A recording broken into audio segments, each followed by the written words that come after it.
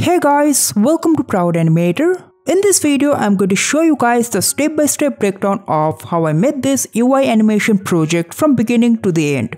Also by the end of this video, I will refer all the tutorials and provide the links for the techniques I used in this video. So make sure to watch till the end.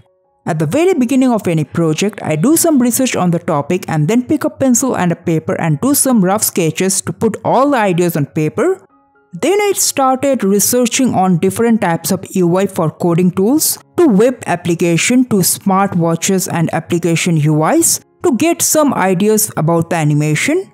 And then I did some thumbnail drawings to check out the possibilities with the frames and transitions. After that, I finalized the elements and then decided the overall flow of the animation. So after everything is finalized, I started doing the final illustration. So I jumped into Adobe Illustrator and started illustrating the basic shapes. I started with the code editor frame illustration. For the UIs, I decided to go with the full abstract and clean look. I replaced all the text with round cap lines. Then I picked some colors for the UI elements and code lines.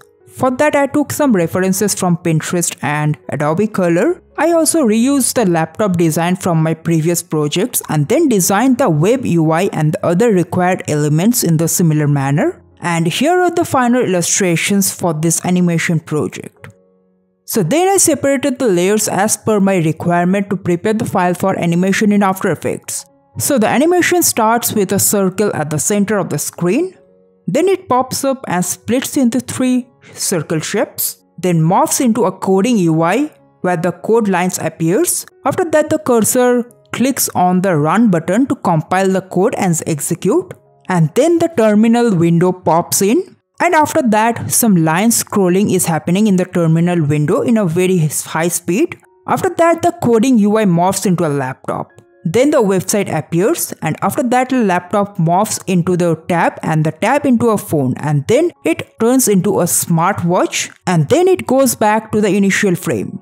Then the whole thing repeats in a loop. So this is the overall idea of this project and now let's check out the After Effects workflow for this project. In After Effects, I started with animating the very first frame so I started with a green circle and a rectangle shape so I morphed it into a coding editor UI. So in this section I focused mostly on the UI transformation part. I used the shape path property to morph the individual shape elements. For this circle movement I added some extra in between frame with elongated rounded rectangle to add some speed blur for the motion.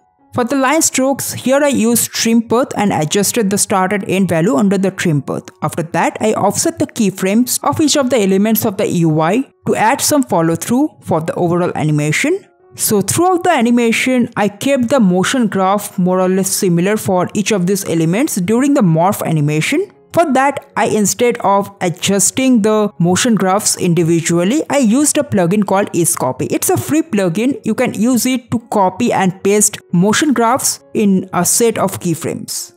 To use it, you have to select the set of keyframes and click on copy in the EaseCopy plugin and then select on the other set of keyframes and click paste. Now you can see the motion graphs of the second set of keyframes is exactly same as the first set of keyframes.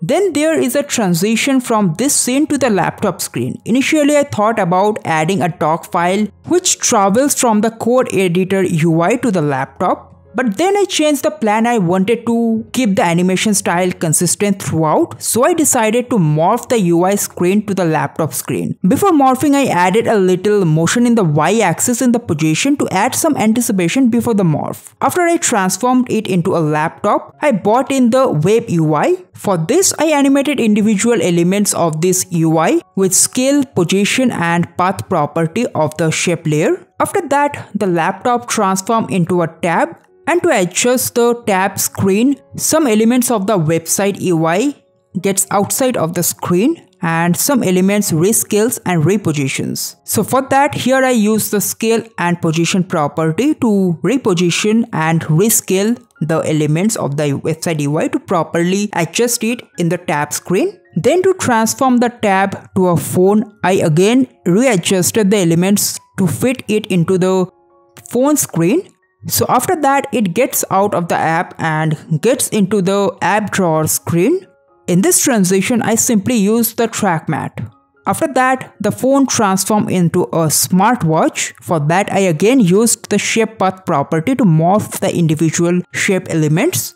And here is how it looks. Okay, so these are the steps I followed throughout the project and this clip is ready to render. So that is it for this video. Hope you learned a few essential tips and tricks to help you in your projects. Now, if you want to learn how to morph an object in After Effects, then you can check out my tutorial link in the description or you can click on the I button on the top right corner to check out the full detailed tutorial. Also, if you want to learn how to animate a character 360 degree rotation in After Effects, then you can again check out my video from the link in the description or you can click on the I button on the top right corner to check out the tutorial. Also, if you want to check out my other motion graphics project breakdown like this, then you can click on the I button right now to check out the video or you can get the link from the description. Okay, so that is it. If you like the video, then make sure to hit the like button. If you have any doubt regarding the techniques, then make sure to comment down. I would be happy to help you out. And if you're here for the first time, make sure to subscribe the channel and hit the bell notification button to stay notified for all the future updates. Until then, goodbye.